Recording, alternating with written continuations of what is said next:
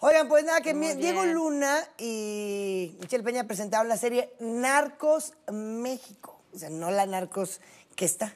Este es Narcos Ah. México, mira.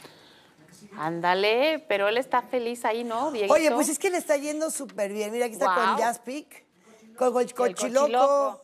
Qué buen actor es el Cochiloco. Todos, ¿ves? Todos. Ese cartelazo, güey. Pero es la continuación de la serie Narcos y esta es la es- en esta temporada ya más bien narra la historia de cómo empezó guapo, ¿no? todo en México. Tenoch Huerta, sí. Sí. ¿Cómo, ha cómo han cambiado todos? ¿O no? No, pero la verdad están. Yo creo que eh, todos están como muy crecidos como actores. Como que han hecho tantas cosas por todas partes que. Fíjate, donde están ellos parados es, es un mural que está dedicado a la serie y nos estaban platicando que está en la colonia San Miguel Chapultepec. Entonces hicieron este mural, Narcos México, ¿por qué no vamos todos ahí?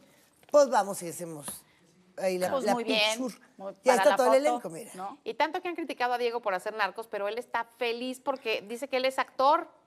Pues sí, lo que lo pongan a hacer. Pues, Pues yo ya claro. vi el, el promo de, la- Es de esta temporada y la verdad se ve muy buena. Mira. y le sale muy bien. Ahora, es actor, pero como actor también tú decides qué personajes y qué Sí, personajes pero no. él, Y- él, él como que no es de esta de estos clases de actores que dijo, no, como tengo niños, este, ya no puedo como hacer Mauricio todo porque que, sí, que no quiso seguir haciendo... como que no revuelve esas el personaje cuestiones. que hacía. Exacto. Eso me gusta de Diego, pues sí tiene unos hijitos y los hijitos lo vieron feliz en Star Wars, Claro. pero también lo ven acá en Narcos y o no lo verán, supongo, pero sabrán y no pasa nada, ¿no? Es actor, su papá. Es actor, Claro. exacto. Ah, pues vamos a ver. Mira, ahí está Ándale. Zoraida. Muy bien. Zoraida Gómez. Muy bien.